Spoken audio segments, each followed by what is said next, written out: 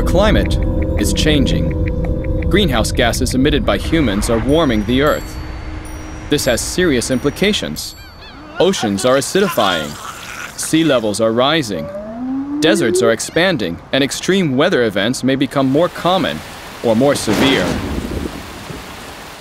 We can prevent some of these consequences by reducing the emission of greenhouse gases.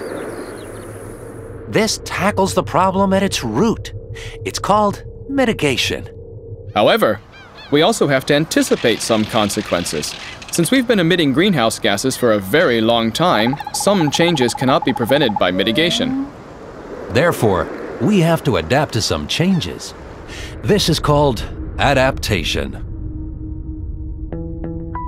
Both require a lot of effort. Is there no easier way? If we humans are already changing the climate today, can't we just change it intentionally? Let's take control.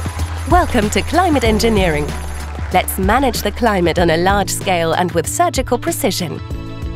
Two methods can help us with that.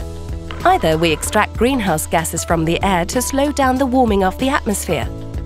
Or we reflect sunlight from the Earth, then temperatures will drop quickly. How does it work? Here's an example we can capture greenhouse gases by building artificial trees. They remove CO2 from the air. In principle, we already have technologies that could do that, although they would require a very large amount of energy. And where can we put the CO2? It needs to be stored safely and for a very long time. And there will be a lot of it to store.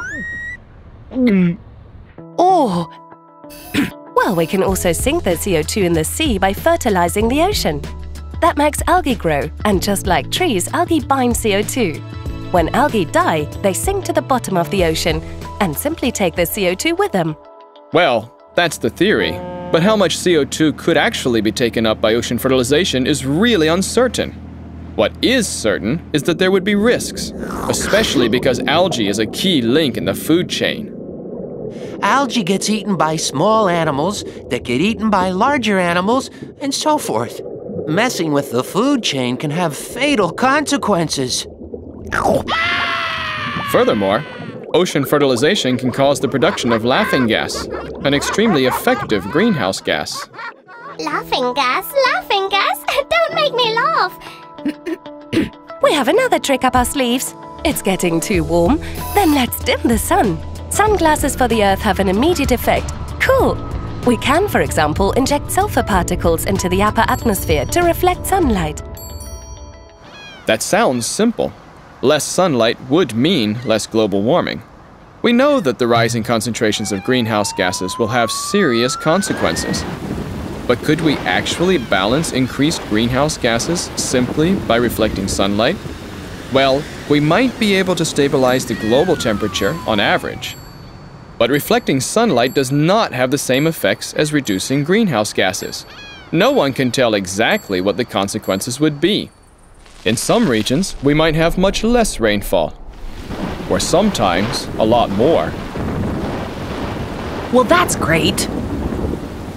It's not certain that this will have negative consequences. Why shouldn't we just try? And if the experiment has bad consequences, well, then we can just stop it. But if we have to stop the experiment, the Earth would warm in a very short time. We wouldn't have solved the problem with the greenhouse gases simply by reflecting sunlight.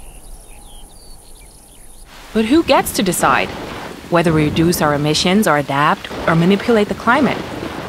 No one has asked me. These options are not mutually exclusive. Climate engineering can buy us time and is a last resort in case of an emergency. Oh, oh. Ha ha. And is it you who decides what an emergency is? Artificial trees, ocean fertilization, or a sunshade for the Earth. Even if technological interventions might solve some problems, they would also create new ones, and it is unclear who should decide about their use.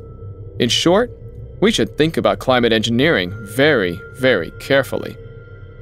In the meantime, let's first focus on mitigation and adaptation to reduce the risks of climate change.